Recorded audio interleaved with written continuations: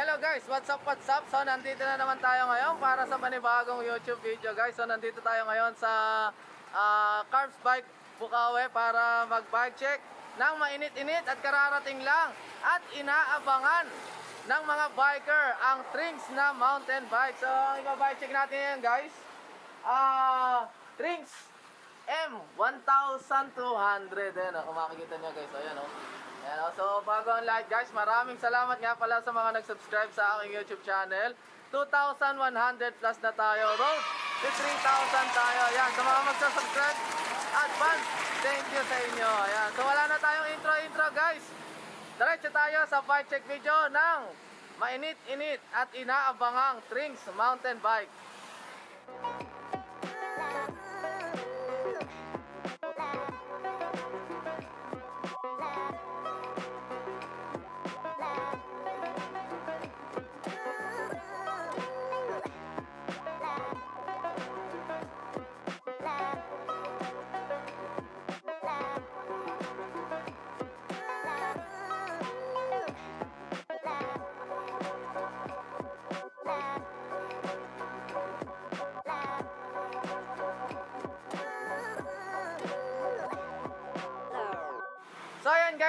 Ating iba-buy check.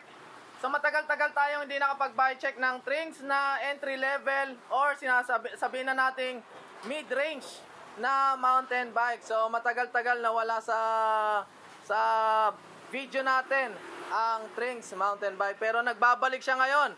At napakaganda nito guys, promise. Isa sa inaasam kong mountain bike to, ang Trinks M1200. Ayan o. So kung makikita naman natin, ang frame niya guys, ayan, kitang-kita nyo naman.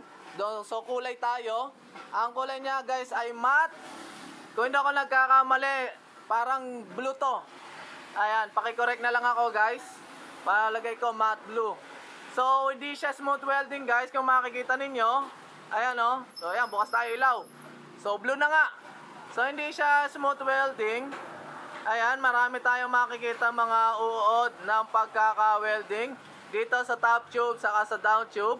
At syempre dito rin, ayan, saka doon sa ah, baba, ayan o, di ba? Yung kanya nga pala guys na head tube, straight. So ang ganda ng pagkaka-straight niya guys, diretsyon-diretso. oh. Tapos meron dito mga makikita nga serial number. So sa Trinks, madalas kong nakikita yan, basta frame, meron niyang serial number. Tapos itong logo, ito ah naka-emboss. Pero itong red naka-emboss pa rin. Integrated ball bearing ang ating headset. Ayan oh. Oh, di ba? So ang ganda nito. Parang decals yung trinks niya dito, guys. Pag kinapa mo. Then sa ibabaw, merong water decals. Nakalagay pro. So pag ginamit mo to, pro ka na. De, joke lang yun. Ayan. So pag kinapa mo to, naka-positive emboss. Dito tayo sa top tube. Medyo pa-bend siya dito. Konti lang naman guys, konti lang. Pero dito sa down tube, ayun. Yeah, madalas ko nakikita yung mga pagka-bend dito sa down tube. Tapos uh, internal cabling tayo dito sa down tube isa. Isa sa top tube. Ayun, at isa pa sa kabila ng down tube. So tatlo ang internal cabling natin. So tingnan natin kung saan lumabas. So isa rito. Ayan, isa riyan. Tapos, isa dun. So, ito yung preno. Ayan. Ito yung preno. Tapos, ito yung RD. Ayan, o, di ba? At ito pa yung isang kable FD. So, isa, dalawa, tatlo. Ayan. So, yun yung ah, pinaglabasan. So, kung pumasok dito, syempre, lumabas doon, nagiwahiwalay sila. Ayan. At dito nga pala, meron tayo dito, yan yung model ng ating bike ngayon na M1200. So, ganun pa rin, naka-emboss pa rin siya. So, ayan, no, pag kinapaan nyo, parang decals yan. Tapos, magkaiwalay. Or malayo, si top tube, saka si chainstay. Dito, oh, siguro mga 3 inches to. Ayan, 3 inches. Tapos, ang frame natin, size 15. So, kung hindi ako nagkakamali, small to. Size 15. Water decals din ito. Ayan, kung hindi ako nagkakamali. Ayan, o, di ba? Tapos dito meron tayong makikitang design in Italy. Warning, 5 years warranty. So sticker lang to, guys. Pero ah, base sa experience ko, napakadikit nito. Napakatagal bago matanggal 'yan. kung hindi mo tatanggalin. At meron tayo dito lalagyanan ng bottle cage. So, diyan natin ilalagay ang malamig na malamig na beer. Ayan, o, di ba? O, syempre dito tayo ngayon sa seat stay. Meron siya ditong uh, tornilyuhan para sa kanyang ah, bike rack. So, sa mga gusto maglagay ng bike rack, at syempre bridge para sa tapalodo. Ah, ano to? Pa-square. Pa-square yan, pa-square. Tapos dito sa chainstay niya, ayan, ang chainstay niya wala naman masyadong kakaiba. Pa-triangular ang shape niya. Dito flat na malapad. Then dito sa may bandang harap, flat na makitid. So, ayan, pa-triangular siya. Tapos meron tayo ditong strings. Ayan, medyo mababaw yung kanyang pagkaka-emboss. At dito dumaan yung ah, kable ng RD. Ayun, daw meron siya pa rin ditong tornilyo ng ano, ng bike rack saka kung gusto mo maglagay ng protector ng ng ano ng RD. Ayun. So punta tayo dito sa kanya suspension fork. Eto guys, gustong gusto ko tong suspension fork na to guys. Pinapangarap ko na to, promise. Ayan oh. So alloy ang kanyang crown, alloy ang arc, magnesium alloy to siguro itong lower na to. So mataba na to guys. Kung ako nagkakamali 32. Tapos ang stanchion niya guys, 120 yata kung ako nagkakamali, kuha tayo ng medida. Ayan guys, sinukat ko gamit ang medida. Yung uh, stanchion niya guys is 120 mm ang haba. Mula dito hanggang doon. Ayan, 120 yan. Tapos meron siya ritong rubber indicator kung paano kalalim o kababaw yung iyong bounce. Ayan, ano, di ba? At syempre meron ditong 1, 2, 3, 4, 5, 6, 7. 7 clicks ang iyong manual lockout. So, pwede yan ng malambot hanggang sa matigas. Depende sa inyo. At ito ang kanyang valve air cover. So, dito nilalagyan or hinahanginan ng ating air shock. Ayan. So, air shock. Then, reverse. Nandito yung arc niya. So, naka-reverse. Ayan. So, nung dati, bago lang ang, yung bago lang to mga fork na to, may mga nagsasabi balik daw dag kabit. Hindi. Ganyan talaga yung kanyang ah fork guys. Naka-reverse siya. Ayan. Tapos, ah, sticker lang to guys. Itong nakikita natin dito na strings. So, pwede nyo tanggalin yan. Pero sa, sa akin, okay na yan dyan. Taba nito guys. Ang ganda nito. Promise oh. Tapos, 816 29 model. Ayan, nakalagay. Okay, ganda-ganda nito, price. Wala. Pero wala siya guys nung ano, yung PSI, yung guide kung gaano kalaki yung PSI na, ah, gaano kataas yung PSI na ilalagay mo, depende sa iyong bigat. Ayan. So, dito tayo sa hubs. Yung hubs niya, guys, walang tatak. Wala akong nakikita. Ayan, oh. So, wala, ayan, oh. Walang tatak. Oh, di ba? Tapos, palagay ko, seal bearing na to, guys. Kasi naka, parang, parang aluminum yung cover niya dito. Then, quick release. Then, bilangin natin yung task mo. 2, 4, 6, 8, 10, 12, 14, 16, 32 holes ang ating alloy hubs na walang tatak. Palagay ko stainless na to guys. Itong spokes na to. At syempre ang rims natin ay gawa ng trings. Ayan nakalagay yung majestic. So palagay ko 20 mm to. Ayan. At ang gulong natin ay CST all terrain. So pwedeng pwede to sa lahat. Kahit saan ka pumunta, pwede to. Pwede sa road, pwedeng sa trail. Ayan, oh, di ba? Oh. At ang sukat niya, guys, hanapin natin. Ang sukat niya, 29 by 2.10. Ayan, malapad na rin to, guys. Ah, punta ta. Ayun, meron pa lang tatak, guys, yung hubs, strings. Ayan, oh. Hindi ko to nakita kanina. Ayan, oh, strings. Sa kabila, palagay ko, strings din yan. O, oh, ayun, oh, nakita natin, strings. Ayan, strings ang ating hubs. Alloy. Quick release. Ayan, ganda nung ah, hubs natin guys, oh. Mataba dito sa may side na to. At bilangin natin yung task mo. 2, 4, 6, 8, 10, 12, 14, 16, 32 holes pa rin ang ating trings alloy na quick release. Stainless ang ating spokes. Double wall alloy na rim na gawa ng Majestics. Ayan guys, yung makikita natin. Tapos CST all terrain na 29 by 2.10 ang kanyang ah, gulong, oh, di ba? At dito tayo sa cogs. Ito na ang kinaiintay ng lahat, yung ah, kanyang gear set.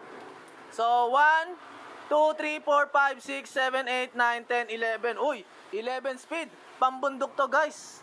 Laban to sa bundok. pakinggan natin guys yung kanyang ah, tunog ng cogs. Yun oh. Tunog mayaman. Tunog mayaman ng ating cogs. Tingnan natin kung ano tatak. Nung cogs natin kung masisilip natin. Sugek. Ayan, nakita na natin guys. Sugek. Yung cogs natin na 11 speed.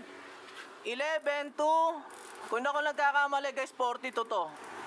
Ayan, 42 nga. Ang galing na nating manghula. 11 speed, 11 to 42 gawa ng Sugek cassette type. Ayan. Ito pa, isa guys, ang ganda. Naka-Diore tayo. Shimano Diore 11 speed.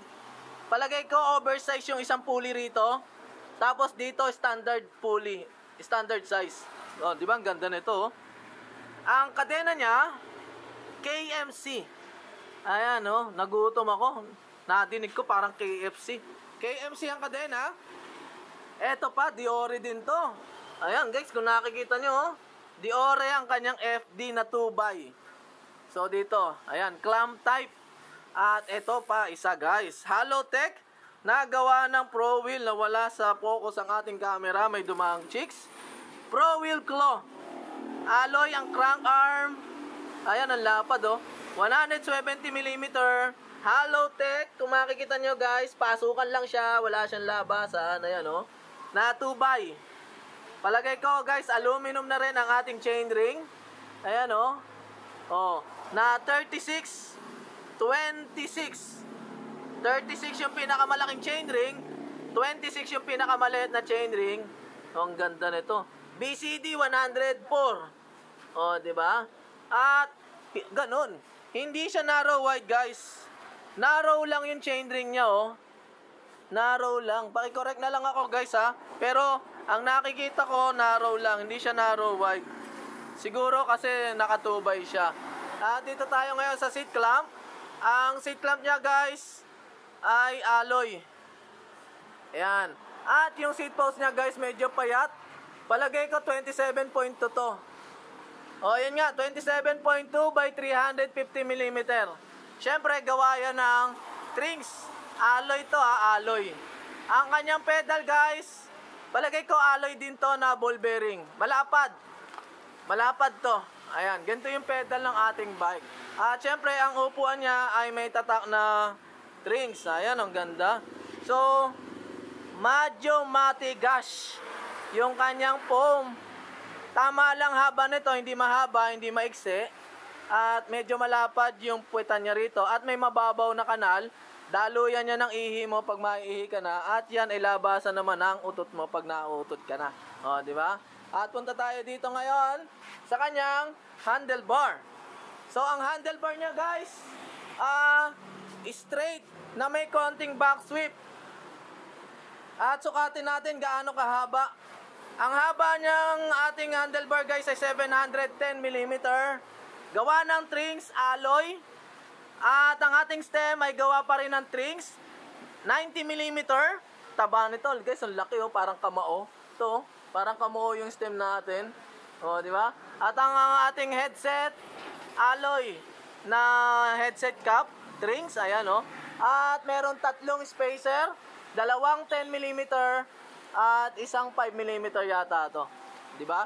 Ating shifter, ayan, shifter natin Diore 11 speed. Sa kabila walang tatak. Ah, yun meron. Diore din. Ayun nasa ilalim nga lang oh. Ayan nakita nyo guys, oh Diore.